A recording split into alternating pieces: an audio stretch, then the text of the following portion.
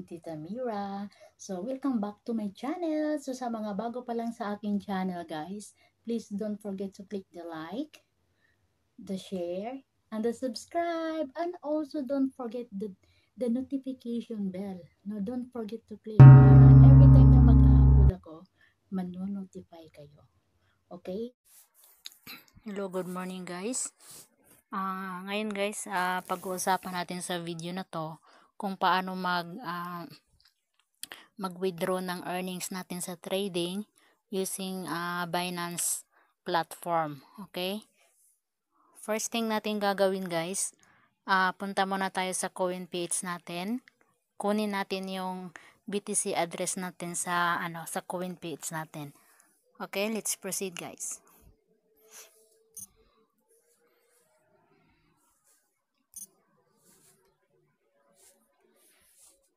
First thing, punta muna kayo sa coin page mo.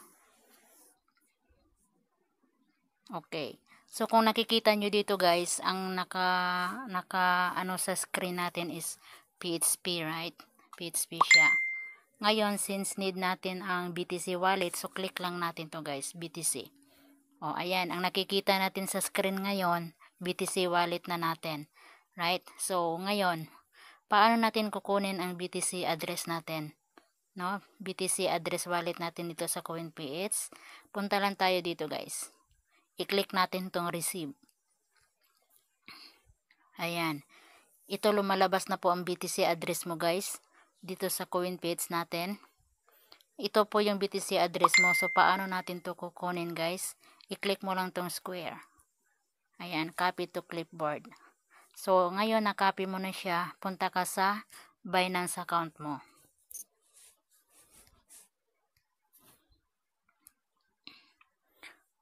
Okay. So, pagdating mo sa Binance account mo guys, punta ka dito sa home. Alright, ito yung home natin, ito. So, pagdating mo dito sa home, click mo itong withdrawal guys. Ito, click mo siya. And then, after mo siya maklik, maridirect ka dito guys. So, click mo to, select coin. So, after mo maklik yon hanapin mo si, ano, si BTC coin.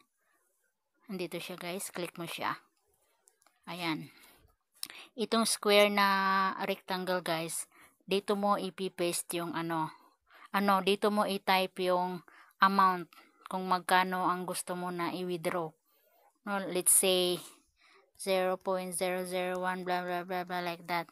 So dito mo siya ita-type sa sa blank na to. And then makikita mo dito yung receive na amount dito sa baba. And then ito yung payment guys. Fee natin, withdrawal fee. 0.005 BTC, yan po ang withdrawal fee. So ito ang mare-receive natin. Dito natin makikita receive amount. Okay?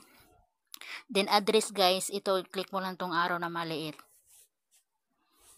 Ayan, sabi dito guys, you have no address. So dito ka, use new address, click mo siya guys.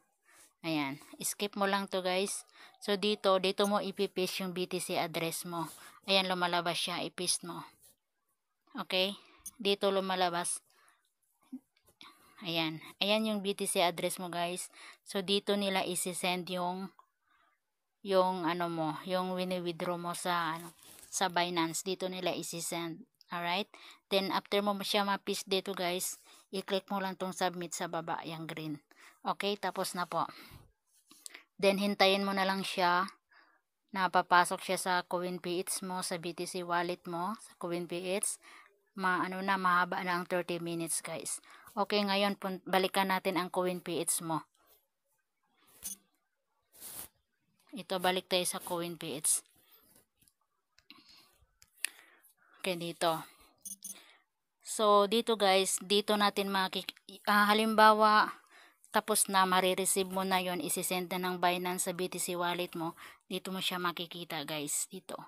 So zero siya ngayon di ba? Magkalaman na yan papasok siya dito sa BTC wallet mo.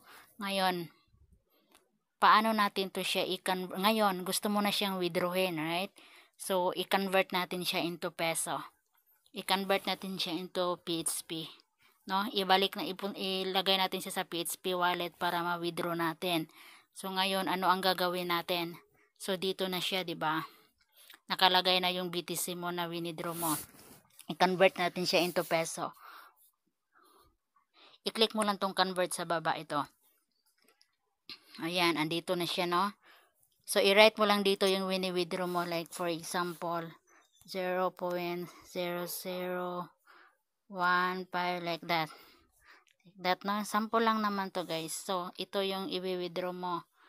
So, ito yung, so dito mo makikita ang conversion niya sa peso. PHP.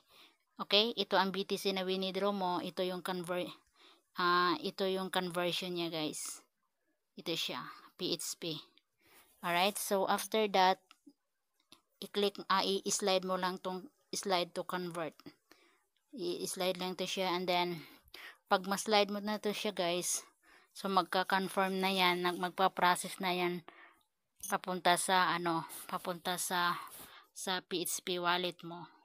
So hintayin mo na lang siya mga 1 hour to 2 hours, papasok na siya dito sa PHP wallet mo. So nasa peso na siya, no? So ngayon, paano natin siya isi-send sa Cebuana or any bank na gusto mong i-send to sa family mo or kahit kanino, no? Uh, let's say sa Cebuana. Gusto mo siya i-send sa Cebuana ganito ang gawin mo. I-click mo lang tong send. Ayan. After that, uh, i-click mo lang tong ano. Ito, ito, send to bank account. Ayan. Pagdating mo dito guys, i-click mo tong Cebuana, Security Bank, Gcash, pili ka lang. Like for example, Cebuana ang napili mo, click mo lang siya. Okay, andito na ilagay mo yung amount dito guys. Then, ayan, ito na, sundin mo lang ang mga instruction dito guys, no? So, hanggang sa makuha ng reservoir. Okay, that's all for today guys. Uh, I hope na may naintindihan kayo and then, uh, abangan mo lang ang next na video guys. So, marami pa akong mga mga tutorials about sa mga ano, sa mga magagamit natin sa online no? So marami pa kong upcoming na video tutorial guys. So mag-subscribe lang kayo sa YouTube uh, sa YouTube channel ko guys para ma-update kayo ma-notify kayo uh, every time na mag uh, ano mag-upload ako ng mga new videos no? New tutorial videos. Okay thank you guys and God bless everyone